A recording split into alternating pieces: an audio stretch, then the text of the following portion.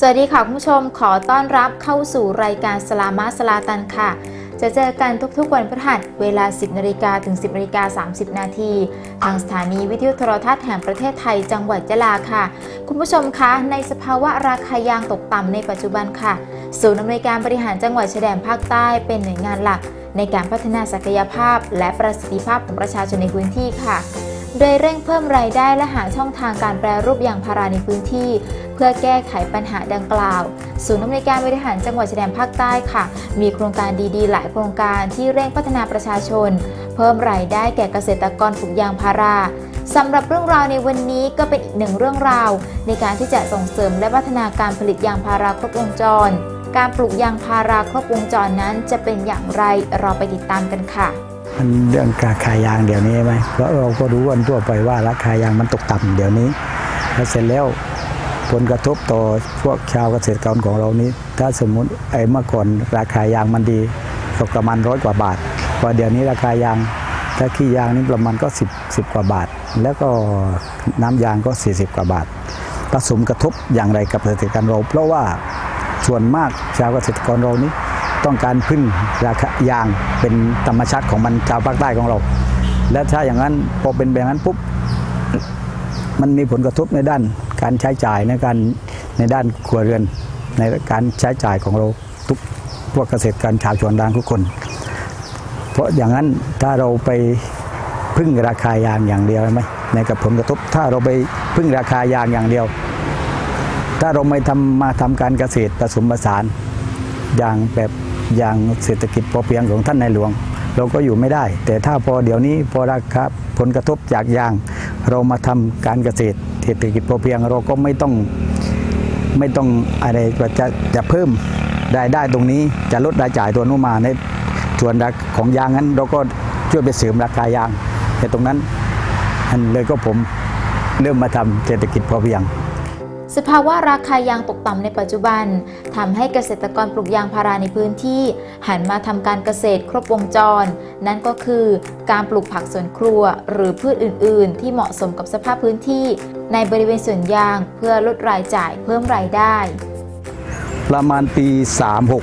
36 เพราะในใจผมผมบอกว่าผมทำงานอะไรได้ ผมจะไม่ทำของที่ไม่เสร็จนี่ จะบุกพูดตรงๆเลย ผมจะทำไม่เสร็จ ผมจะไม่ชอบทำงานที่ไม่เสร็จคำว่าไม่เสร็จถ้ามาทำด้านเกษตรปีนี้ต้องทำปีหน้าต้องทำเลยจิตใจปลูกยางดีกว่าพอปลูกเสร็จแล้วส่วนหนึ่งเราก็ไม่ต้องไปดูแลมันแล้ว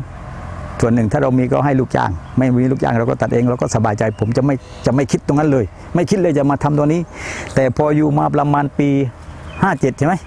ที่ราคายางตกต่ำพอราคายางตกต่ำปุ๊บมันกระทบถึงกระทบถึงเรื่องใช้จ่ายขอไปถึงครัวเรือน เลยก็คิดว่าเออถ้าอยู่แบบนี้พึ่งยางอย่างเดียว ผมจะอยู่ไม่ได้แล้ว เพราะส่วนหนึ่งต้องไปผ่อนตกสเสียงหนึ่งลูกเรียน ก็เลยเริ่มคิดว่าจะทำอย่างไร ไอเบี้ยราคายางของเราสมมติว่าถ้าได้เดือนละสองหมื่นเราต้องไม่ไม่ต้องเอามาจ่ายในครัวเรือนเราได้ไม่ต้องเอาไปจ่ายตัวนี้เราเอาไปจ่ายตัวนั้นเลยก็คิดเริ่มคิดเริ่มคิดว่าเออถ้าทำการเกษตร เหมือนของท่านนายหลวงบอกว่าเออถ้าเรามีนิดหน่อยมีนิดหน่อย ไปให้บ้านคนโน้นเราไปเอาของคนนี้ก็เริ่มคิดตรงนั้นนั่งดูทีวีอยู่พอคิดตรงนั้นพอคิดตรงนั้นก็โอเคเริ่มทำปลูก เพราะว่ามะนาวผมก็ใช้อยู่ทุกวันพริกไทยผมก็ใช้ตะไคร้ผมก็ใช้ ผมต้องไปซื้อร้อยละ 60 บาทตะไคร้กล้วยนางยาผมต้องไปซื้อลูกละ 2 บาทมาให้แฟนทำที่บ้านเลยก็โอเคริเริ่มทำตัวนี้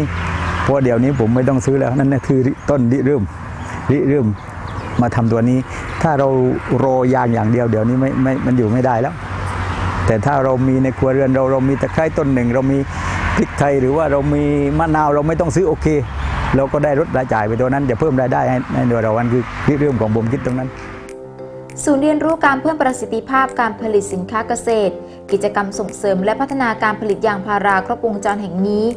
เป็นแปลงสวนของนายสมพรศรีเกิด เกษตรกรต้นแบบปลูกยางพาราครบวงจร ในพื้นที่ตำบลนาประดูอำเภอโคกโพจังหวัดปัตตานีริเริ่มความคิดในการทำเศรษฐกิจพอเพียง ลดรายจ่ายเพิ่มรายได้ ครับคือในอ่อจากปัญหาราคายางตกต่ำนะครับที่เกิดขึ้นนะฮะซึ่งรัฐบาลได้มีมาตรการในการช่วยเหลือพี่น้องเกษตรกรชาวสวนยาง หลายมาตรการนะครับ ทั้งโครงการสร้างความเข้มแข็งให้แก่เกษตรกรชาวสวนยางนะฮะซึ่งเกษตรกรก็จะต้องไปขึ้นทะเบียนกับทางสำนักงานกองทุนสงเคราะห์การทำสวนยางนะในส่วนหนึ่งที่จะช่วยเหลือเป็นเงินให้กับพี่น้องเกษตรกรนะครับ นอกจากนั้นก็ยังมีเรื่องของโครงการสนับสนุนสินเชื่อนะฮะให้เกษตรกรชาวสวนยางได้นำไป ดำเนินกิจกรรมเพื่อสร้างรายได้เสริมนะครับ แล้วก็จากอนาคตยางที่เป็นที่ทราบกันดีนะครับว่ามันเป็นราคาที่ค่อนข้างที่จะไม่แน่นอน แล้วก็จากวิถีชีวิตของพี่น้องชาวใต้นะครับที่ทำสวนยางมาโดยตลอด ก็จะต้องได้รับผลกระทบในส่วนนี้นะครับก็ได้มีการเน้นนะฮะในเรื่องของการพัฒนา ศักยภาพนะครับให้กับพี่น้องชาวสวนยางในส่วนของออสำนักงานเกษตรจังหวัดปัตตานีนะครับ ก็ได้มีการดำเนินการในเรื่องของเอเน้นนะครับในเรื่องของการลดต้นทุนการผลิตให้กับชาวสวนยางนะฮะแล้วก็มุ่งในเรื่องของการสร้างรายได้เสริมนะฮะสนับสนุนให้พี่น้องเกษตรกรได้หันมาทำอาชีพเสริม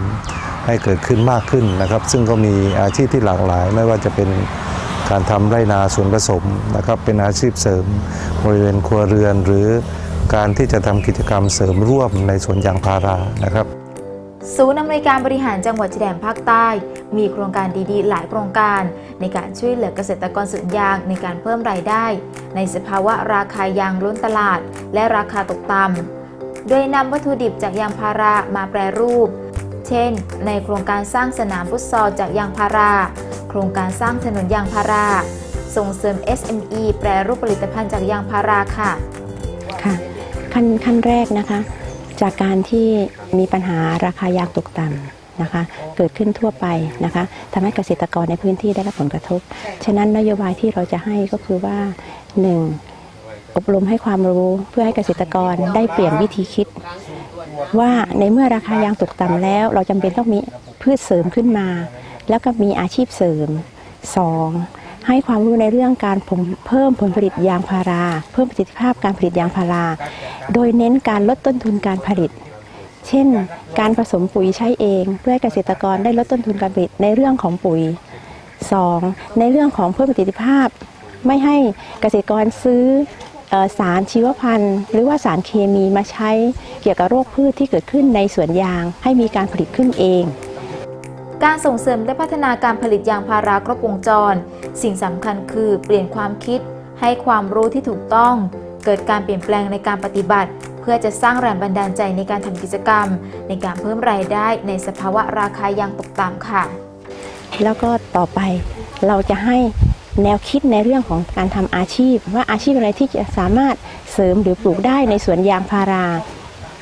อย่างเช่น กล้วยพริกไทย แล้วก็ผักเลียง และพืชอื่น ๆ ที่ตลาดมีความต้องการ อย่างเช่นตะไคร้มะนาวนะคะ ซึ่งในส่วนนี้พืชที่ต้องกินต้องใช้ทุกวันจำเป็นที่เกษตรกรจะต้องใช้และถ้าปลูกก็ขายได้ ในเมื่อเกษตรกรได้ปรับเปลี่ยนวิธีคิดแล้วต่อไปเป็นเรื่องของการปฏิบัติ เกษตรกรจะต้องปฏิบัติก็คือว่าทำอาชีพเสริม เพื่อให้มีรายได้เกิดขึ้นจากายางพารา เพื่อจะได้เป็นการเพิ่มรายได้ การที่เกษตรกรได้ปลูกพืชเสริมขึ้นนี้ จะทำให้เกษตรกรมีพืชที่จะต้องใช้ในการดำเนินชีวิตประจำวันทำให้เกิดการลดรายจ่าย เมื่อปลูกมากก็สามารถนำไปจำหน่ายได้ ก็กลายเป็น รายได้เพิ่มขึ้นมา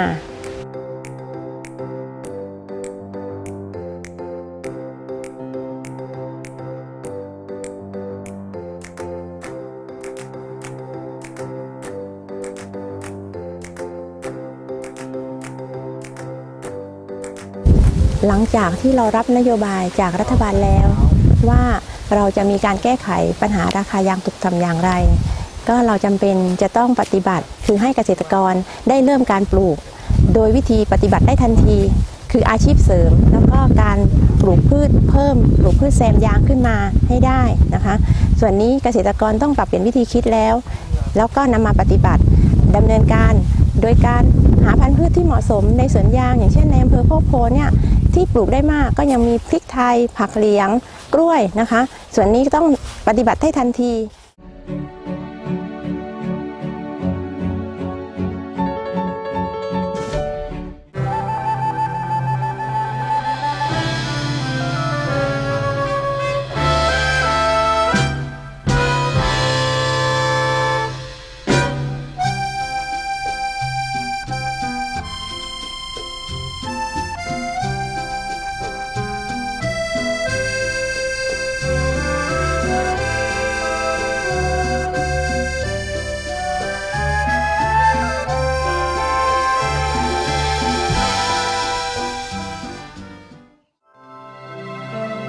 Kembali pada tahun 2516,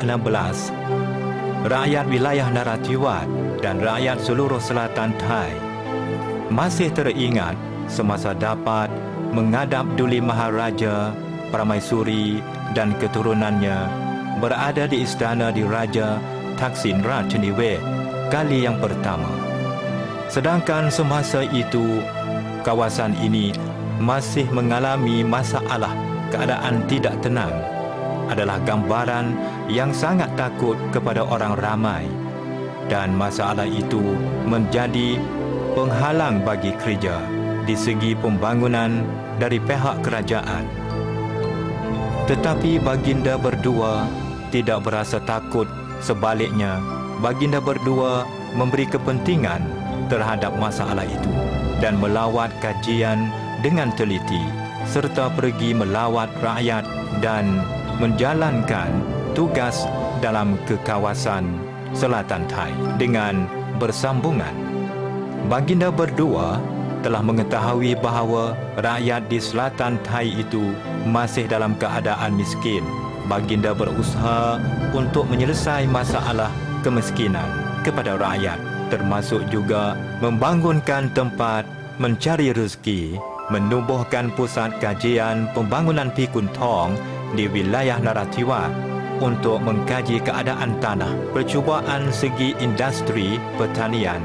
kemudian menuju kepada petani secara tertentu serta menjadi sumber ilmu kepada rakyat yang berminat projek tetah diraja. Yang terkenal dan seluruh negara ada hanya satu tempat sahaja iaitu projek Klang Din untuk menyelesaikan masalah tanah masal di wilayah Narathiwat dan kawasan berhampiran serta mengadakan sistem tali air masuk kepada sawah ladang maka rakyat dapat bekerja seperti pertanian dengan sempurna dan mendapat hasilan dengannya sepatut dengannya. Selain daripada ini, baginda juga menggalakan pembangunan dalam pengkajian, mengadakan kerja yang tetap dan meningkatkan taraf kehidupan serta juga di segi agama. Kerana kebanyakan rakyat beragama Islam, tetapi baginda tidak memisah. Baginda juga menyokong dan membantu setiap agama. Demikian baginda menjadi contoh yang baik kepada orang ramai bahawa di bawah naungan baginda, manusia setiap agama, bangsa dapat bersama dengan aman damai. Pada awal bulan Ganyayun setiap tahun, rakyat di dalam wilayah sempadan selatan Thai semua menunggu kedatangan Duli Maharaja berangkat di kota Taksin Rajaniwe supaya hendak menikmati kurnianya raja kita.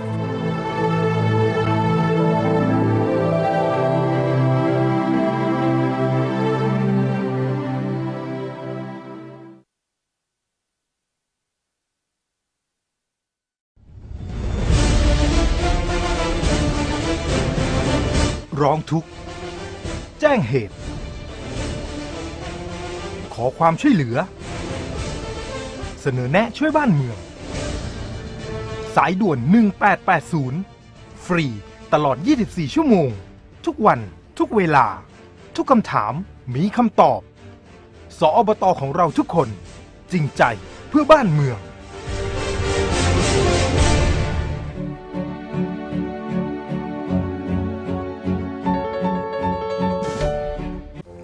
ผู้ชมคะ การสนับสนุนกลุ่มเกษตรกรพัฒนาคุณภาพนั้น จะต้องมีศูนย์เรียนรู้ ซึ่งทางรัฐบาลได้สร้างศูนย์เรียนรู้การเพิ่มประสิทธิภาพ การผลิตสินค้าเกษตร เพื่อถ่ายทอดให้ความรู้การทำเกษตรกรครบวงจร โดยศูนย์แห่งนี้จะอยู่ณประจำอำเภอค่ะ ในการสนับสนุนการถ่ายทอดความรู้นี่ก็เป็นเรื่องที่สำคัญนะครับ ซึ่งจังหวัดปัตตานีเรามีศูนย์ เรียนรู้การเพิ่มประสิทธิภาพการผลิตสินค้าเกษตรนะครับ อยู่ในจังหวัดปัตตานี ซึ่งเป็นศูนย์หลักอยู่ทุกอำเภอนะครับ ศูนย์ที่เกี่ยวข้องกับยางพาราเรามีอยู่ทั้งหมด 7 ศูนย์นะครับ ซึ่ง 7 ศูนย์นี้ที่เน้นหนักนะครับในส่วนของกิจกรรมก็คือในเรื่องของการ พิ่มประสิทธิภาพลดต้นทุนการผลิตนะครับให้เกษตรกรรวมกลุ่มกันในเรื่องของการใช้ปุ๋ยผสมนะครับ แล้วก็ส่วนกิจกรรมที่สำคัญในช่วงนี้นะครับที่เกษตรกรตื่นตัวก็คือการสร้างอาชีพเสริมขึ้นให้กับเกษตรกรนะฮะดังที่ผมเรียนนะครับซึ่งขณะนี้ก็ได้มีเกษตรกรหันมาสนใจเข้าไปเรียนรู้ และเรามีแผนที่จะจัดกระบวนการเรียนรู้ในช่วง เดือนกุมภาถึงพฤษภาคมนะครับ 3,000 คนซึ่งมีทั่วทุกอำเภอนะครับเอ่ออำเภอละ 250 คน ที่จะให้เกษตรกรได้เข้าไปเรียนรู้ณจุดเรียนรู้นั้น นอกจากศูนย์เรียนรู้แล้วนะครับ ก็ยังสนับสนุนขยายผลนะครับ เกษตรกรที่ประสบความสำเร็จ สำหรับเกษตรกรที่สนใจอยากหันมาทำเกษตรกรครบวงจร สามารถเข้าร่วมอบรมเพื่อเพิ่มประสิทธิภาพในเรื่องของการผลิตการเกษตร ที่ได้รับผลกระทบจากราคายางตกต่ำและจากปัญหาราคาสินค้าเกษตรตกต่ำณสำนักงานเกษตรอำเภอใกล้บ้านของท่านค่ะ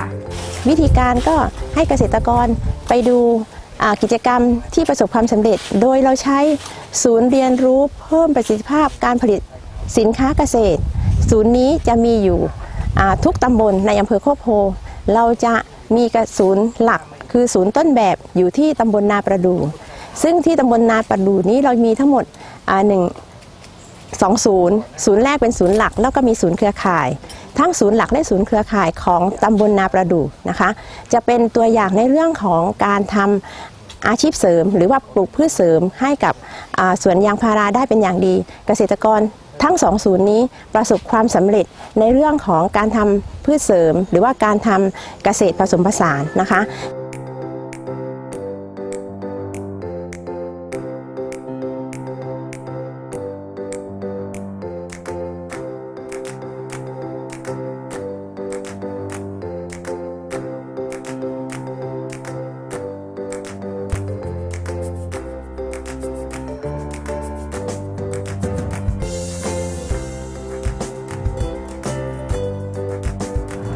ามาช่วยเหลือหนึ่งด้านด้านด้านแรกคือหนึ่งให้ความรู้ พอให้ความรู้แล้วเสร็จแล้วเขาก็เคยพาผมไปดูฮานไปไปดูฮานพอไปดูฮานปุ๊บกลับมาปุ๊บเกษตรก็โอเคจะให้เกี่ยวกับเมล็ดพันธุ์พืช ไม่ว่าต้นมะนาว ไม่ว่าไอ้ต้นนี่ลิมลิมปิงนี่ไม่ว่าพริกไทยด้านการเกษตรก็โอเคส่งเสริมมา เลยก็ผมก็กลับมา ทำตัวนี้และได้เริ่มทำตัวนี้ แล้วเสร็จแล้วก็ชวนตั้งด้านธนาคารกสของรัฐบาลที่ว่าให้คนช่วยเหลือพวกท่านเกษตร ดอกเบี้ยร้อยละสองบาทนั้นโอเค ตัวนี้ผมก็ได้ พอได้ตัวนี้ผมก็ส่วนหนึ่ง ผมก็เอามาซื้อในด้านการเกษตรซื้อปุ๋ย ส่วนหนึ่งก็โอเคมาซื้อไอ้แป๊บมาซื้อมอเตอร์มามามาในในการ ในการดำทำด้านการเกษตรแล้วตัวนี้มันต้องเกี่ยวข้องกัน ถ้าไม่มีน้ำโอเค มันอยู่ไม่ได้ ด้านการเกษตรไม่ว่าเกษตร ไม่ว่าตกสโอเค ผมจะ ถ้ามีปัญหาจะไปหา และเสร็จแล้วเกษตรก็โอเค จะให้เมล็ดพันธุ์ไม่ว่าเกษตรอำเภอไม่ว่าเกษตรจังหวัด การปลูกผักสวนครัวในบริเวณบ้านหรือในสวนยาง จะทำให้ลดรายจ่ายในครอบครัว แถมยังสามารถนำไปจำหน่ายเพิ่มรายได้ค่ะ หากเรามีความตั้งใจจริง ก็สามารถทำเศรษฐกิจพอเพียง ตามแนวปรัชญาเศรษฐกิจพอเพียงของในหลวงค่ะ ครับในส่วนพี่น้องเกษตรกรครับในแต่ดั้งเดิมเนี่ยเราคิดว่ายางพาราเป็นรายได้หลักของเรานะครับ แต่ปัจจุบันนี้นะครับก็เป็นที่ทราบกันดีปัญหาถึงราคา เพราะฉะนั้น การเปลี่ยนแปลงวิถีชีวิตการทำการเกษตรเนี่ยผมว่าเป็นเรื่องสำคัญที่เราจะต้องหันมาให้ความสำคัญกับกิจกรรมการเกษตรเสริมรายได้นะครับเป็นเรื่องสำคัญของพี่น้องชาวสวนยาง หลังจากที่กรีดยางนะครับ ก็หันมาดูแลนะครับ การใช้พื้นที่ให้เกิดประโยชน์ แล้วก็ใช้องค์ความรู้นำเรามีต้นแบบมีตัวอย่างอยู่มากมาย รวมทั้งในเรื่องของอ โครงการพระดำริ ซึ่งเรามีฟาร์มตัวอย่างตามพระดำรินะฮะสมเด็จพระนางเจ้า พระบรมราชินีนาถอยู่ในพื้นที่จังหวัดปัตตานีกว่า 11 กว่าศูนย์อ่า11 กว่าศูนย์นะครับ ซึ่งก็สามารถที่จะเข้าไปเรียนรู้เป็นแบบอย่าง และท่านสนใจนะครับในการทำอาชีพเสริมด้านการเกษตรนะครับหรือการเลี้ยงสัตว์ เราก็มีหน่วยงานในพื้นที่ โดยเฉพาะสำนักงานเกษตรอำเภอที่มีอยู่แต่ละอำเภอก็จะเป็นพี่เลี้ยงให้ท่านได้ ปรึกษาให้คำแนะนำในส่วนนี้ได้ครับ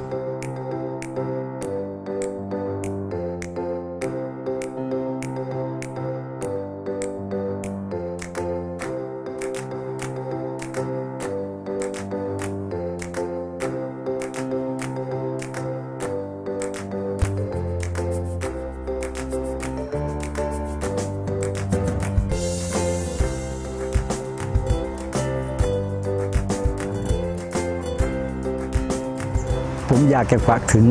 เพื่อนๆที่ทำการเกษตรเหมือนกับผม ที่ว่าเราปลูกยางอย่างเดียว เพราะเดี๋ยวนี้ถ้าเรานอนรออยู่จากราคายางอย่างเดียว หรือว่านอนรอว่าให้รัฐบาลช่วยเหลืออย่างเดียวเราไม่ช่วยช่วยเหลือตัวเอง ผมว่าเรื่องนี้มันก็ลำบาก เพราะฉะนั้นถ้าเราอย่าดิ้งนอนได้ลุกขึ้นมาตอนเช้าเราพยายามไปทำอะไรก็ได้ปลูกกล้วยตักต้นหนึ่งหน้าบ้านเรา หรือว่าไปปลูกตะไคร้ตะกอหนึ่งหลังบ้านเรา หรือว่าไปปลูกพริกตักต้นหนึ่ง เราก็ราคาตัวนั้นในในครัวเรือนเราต้องไม่ต้องไม่ต้องไปซื้อ เสร็จแล้วพอเราไม่ต้องไปซื้อ เราจะลดรายจ่ายตัวนั้นจะเพิ่มรายได้ในการถวนยางตัวนี้ แต่ถ้าเรารอแต่ว่าเออเมื่อไรรัฐบาลจะช่วยตัวนี้จะช่วยเราก็ต่อไปมันก็เราก็อยู่ไม่ได้ เราต้องช่วยเหลือตัวเราเองก่อน การช่วยเหลือตนเองด้วยการปลูกพืชอื่น ๆ ที่เหมาะสมในสวนยางของตนเองนั้นนำมาซึ่งการเพิ่มรายได้ในครอบครัวค่ะ นี่คือความตั้งใจจริงของเกษตรกรต้นแบบปลูกยางพาราครบวงจรตำบลนาประดูอำเภอโคกโพ จังหวัดปัตตานีค่ะทำให้เขามีรายได้มาเลี้ยงครอบครัวถ่ายทอดความรู้ให้ผู้ที่สนใจทำเกษตรกรครบวงจร โดยมีหน่วยงานภาครัฐเข้ามาช่วยเหลือและสนับสนุน ทำให้สามารถพัฒนาเกษตรของตนเอง เป็นเกษตรกรต้นแบบการปลูกยางพาราครบวงจร ในอำเภอโคตรโพค่ะคุณผู้ชมคะสำหรับวันนี้ก็หมดเวลาของรายการสลามาสลาตันแล้วค่ะ จะเจอกันใหม่ในสัปดาห์หน้าค่ะ กับเรื่องราวดีๆ แบบนี้สำหรับวันนี้ทีมงานรายการสลามาสลาตันต้องลาไปก่อนแล้ววัสสลามค่ะ